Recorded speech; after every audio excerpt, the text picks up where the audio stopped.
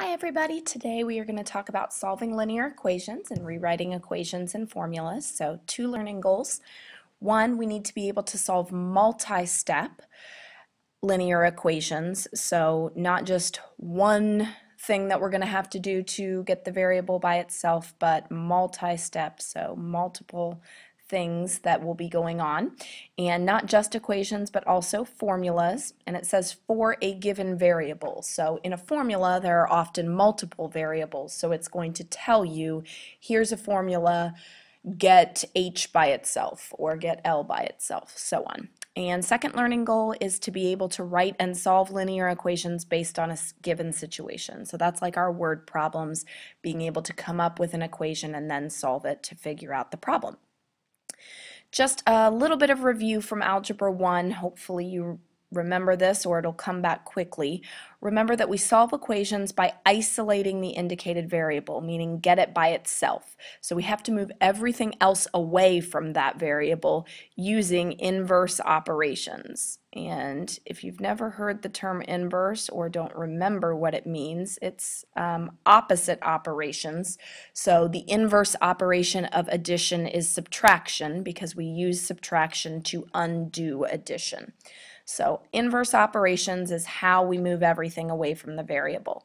Just a couple fraction reminders here because I know fractions sometimes trip people up. Um, if you have just a single fraction in front of the variable, which is what you have in example 1a there, to get rid of that fraction, you are going to multiply by the reciprocal. Remember that a reciprocal is just flipping the numerator and the denominator. So multiply by the reciprocal if it's a single variable. If you've got multiple fractions in an equation, yes, you can get rid of them one at a time, but that's going to require you to come up with sometimes multiple common denominators to add or subtract, which just gets really complicated. So it makes it a lot easier if there are multiple fractions in an equation, like what we have in example 1c, that instead of just um, doing one step at a time, you get all, rid of all of the fractions at once by multiplying by the least common denominator, or the LCD. And as you can see, we'll have an example of that here in a second. So example 1a, solve the equation and check your solution. Remember, when it says check your solution, that doesn't mean that you have to write something else down, but anytime you solve an equation, you should know whether your answer is correct or not by plugging it back in either mentally or in your calculator and checking to make sure it's right. So let's look at example 1a. 2 ninths x plus 8 equals 16. So we want to get that x alone, which means we need to get rid of that added 8. So the inverse of addition is subtraction. So we're going to subtract 8 to get rid of that. Whatever we do to one side of an equation, we have to do to the other. So on the left, these will cancel. So I've got just my 2 ninths x remaining on the left side. On the right side, 16 minus 8 is 8. So I almost have my x alone. That 2 ninths in front is the only thing keeping that x from being alone. So like we reminded up at the top, to get rid of a single fraction, we're going to multiply by the reciprocal. So the reciprocal of 2 ninths, when you flip numerator and denominator, is 9 over 2. So we're going to multiply both sides, again, because whatever we do to one side, we have to do to the other. So we're going to multiply both sides by 9 over 2. So on the left, those are cancel because that's an inverse operation. So x is now alone. On the right side, 8 times 9 over 2. You have a couple choices here when you're multiplying by fractions.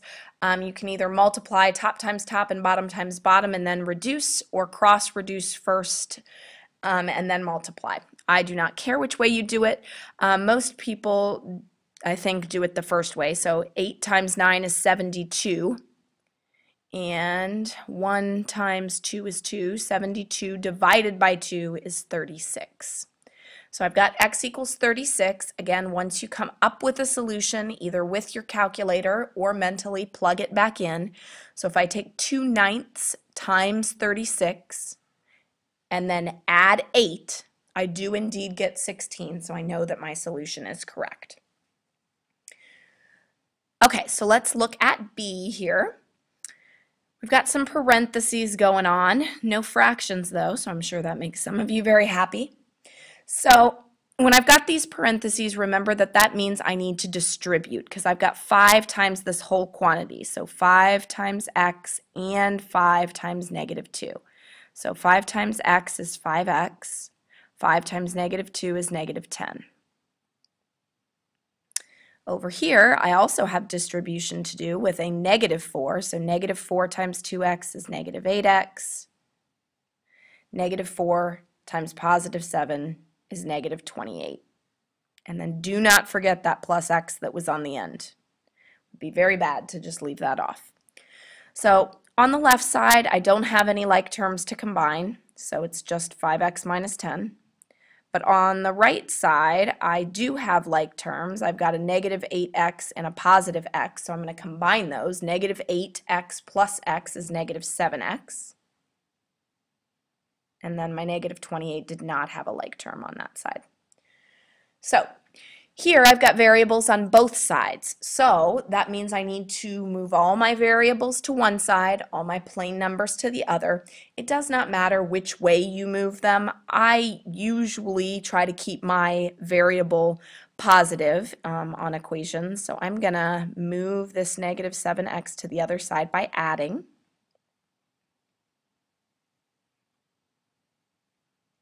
Pen's messing up there. Okay, so that gets rid of my variables on the right side. So if I moved my variables to the left, that means I need to move my constants, my plain numbers, to the right. So I need to move this negative 10. The inverse of subtraction is addition, so I'm going to add 10 to both sides. Again, these ones cancel out. So on my left, I've got 5x plus 7x, which gives me 12x. On the right side, I've got negative 28 plus 10, which is negative 18. So now, to get the x alone, divide both sides by 12. Negative 18 over 12 does not come out evenly, so we leave it in fraction form. In Algebra 2, this is big boy, big girl math. So our answers, unless it's a word problem or unless there's already a decimal in the problem, all of your answers need to be in simplest fraction form. So negative 18 and 12 are both divisible by 6. That gives us negative 3 over 2 as our solution. Again, always plug it back in to check and make sure it works. All right, last equation practice. And I picked this one because it has multiple fractions and I wanted to show you multiplying by the LCD. So LCD, remember, is the um, least common denominator. So if you were finding a common denominator for all three of these, what would be the least one you could have? Um, you learned how to do this earlier in your math career. Um, I think the easiest way to do it, instead of breaking it down into factors, which is usually how we teach it, is to take the biggest number, which in this case is 10, look at the other denominators and ask yourself, is 10 evenly divisible by 5? Yes. Then check the other one. Is 10 evenly divisible by 3? No, it's not. So then move up to the next multiple of 10, which is 20, and do the same thing. 20 is evenly divisible by 5, but it's not evenly divisible by 3. So go to 30. Is 30 evenly divisible by 5? Yes. Evenly divisible by 3? Yes. So that means that 30 is going to be my LCD, so I'm going to multiply this entire equation by 30. Again, the reason why I multiply by the LCD is it is going to get rid of all of my fractions in just one step. Instead of having to do three steps that all involve fractions, we can get rid of all of them at the same time. So 30 times 2 thirds gives me 20. So that's 20x. Then 30 times 1 fifth is 6, so I've got plus 6. 30 times 2x is 60x. Running out of space here. And 30 times negative 3 tenths is negative 9. So 20x plus 6 equals 60x minus 9. I think to most of you that looks a lot better than what I had with the fractions. So I'm going to move all my variables to one side. This time I'm going to move them to the right, again, just because I like to keep them positive, but it doesn't matter which side you move it to on these. So pen is not writing very nicely. So if I have moved my variables to the right this time, that means I need to move my plain numbers, my constants, to the left. So I'm going to add 9 to cancel this. Add 9. So these will go away. So on the left, I've got 6 plus 9, which is 15. On the right, I've got 60 minus 20, which is 40. So 15 equals 40x. Divide both sides by 40.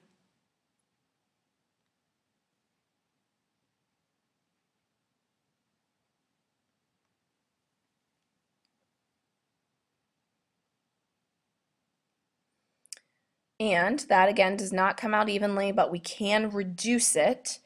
The 15 and the 40 are both divisible by 5.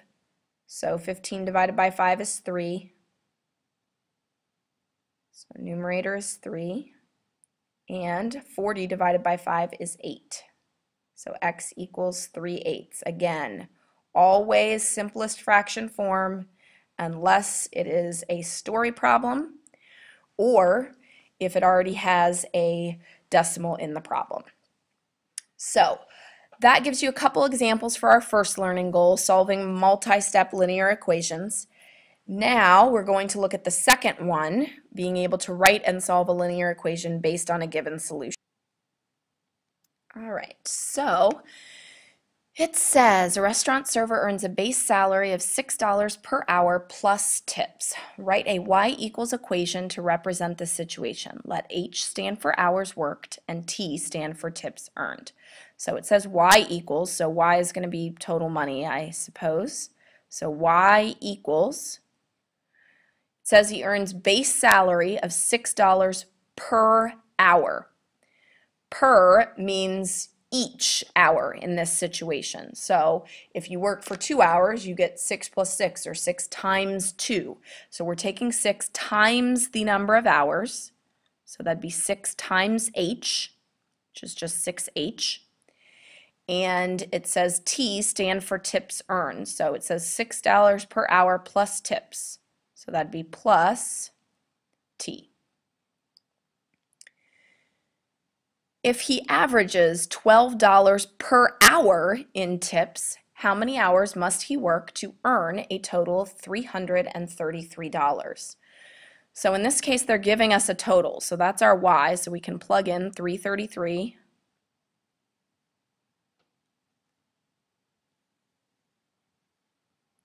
for our y. And then we've still got 6H because we don't know hours. That's what we're trying to find. But it says $12 per hour in tips. So that means the plus T is actually also going to have an H on it because the tips are $12 per hour. So on that right side, 6H plus 12H is 18H. So 333 don't know why it doesn't want to draw my second 3. So 333 equals 18H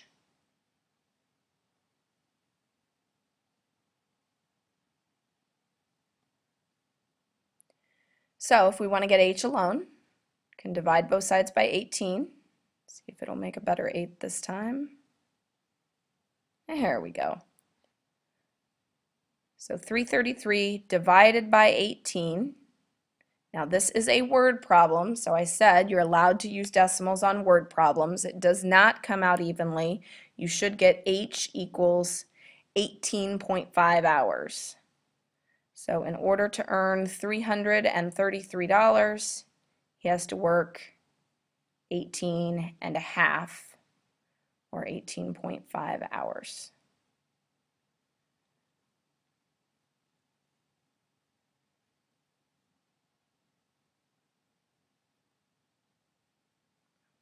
Looks like kindergarten handwriting there. Sorry about that.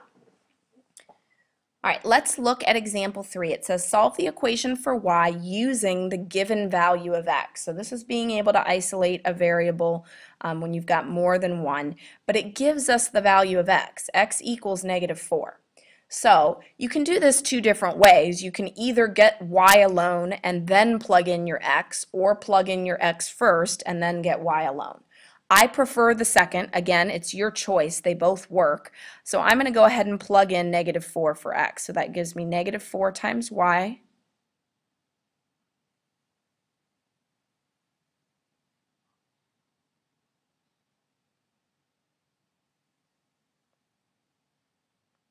equals, or not equals, minus negative 4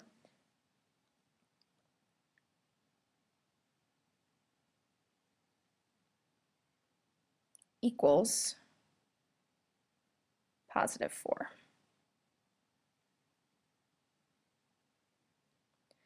So remember that minus negatives become pluses, so that gives me negative 4y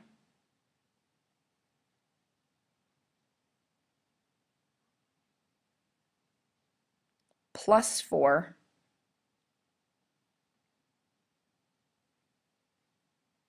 equals 4. So when I subtract 4 from both sides, it's going to cancel on both sides. It's going to give me 0 on the right and cancel it on the left. So these go away, these go away. So you've got negative 4 y equals 0.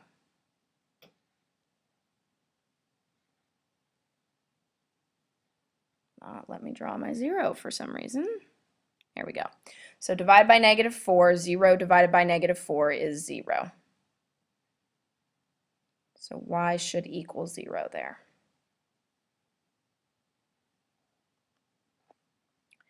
All right, last example, and this goes back to the first learning goal, that part of it that deals with formulas. So gives us a familiar formula here. The area of a triangle is 1 half base times height. Hopefully you have not forgotten that. You used it a lot in geometry.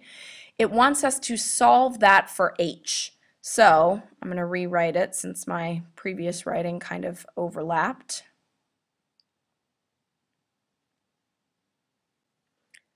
So if I want to solve for h, that means I want to get h alone. So I've got the 1 half and the b that both need to go away. Now, when no operation is written, remember that it's understood to be multiplication. So that's all multiplication there.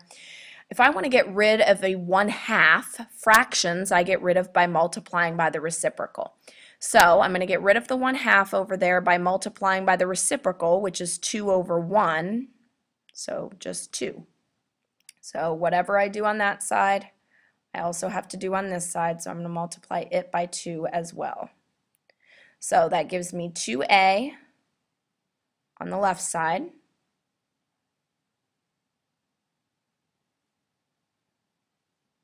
And since the 1 half canceled, I've just got BH, so um, base times height on the right side.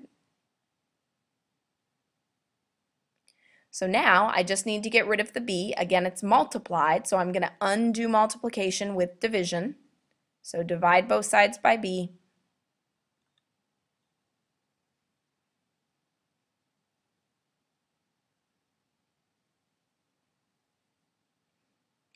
And when those cancel, on the left side, those aren't like terms. I can't divide 2 by b, and I can't divide a by b without knowing their values. So there's nothing else I can do to that. So I've got the h alone, h equals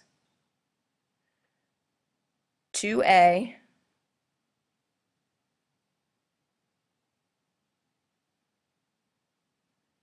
does not want to let me make that 2. It looks like a 1, but it's supposed to be a 2.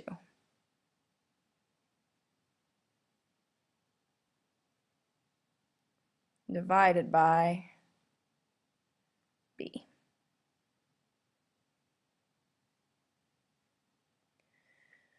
So I've solved for h. Then, the very last thing, it says find the height of a triangle with an area of 30 square centimeters and a base of 6 centimeters. Now, you can just go right to the 1 half base times height and plug those in, but then you have to go through all the steps to get that h alone again. We already got h alone when we solved the formula. So plug this into the answer from A. If I want to know the height, that means I'm looking for h. So h equals, and then use the formula that I had, 2 times A. So in this case, A is 30, so I've got 2 times 30.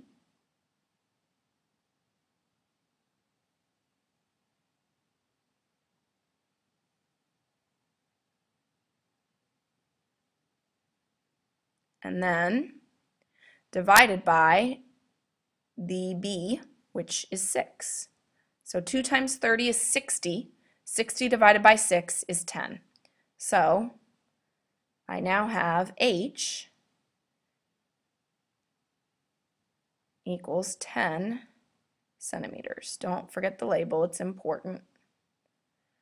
I don't know why it always starts off writing okay and then by the end it's just looks like I'm in kindergarten, maybe preschool.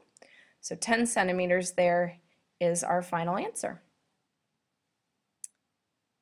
And that is it for this lesson.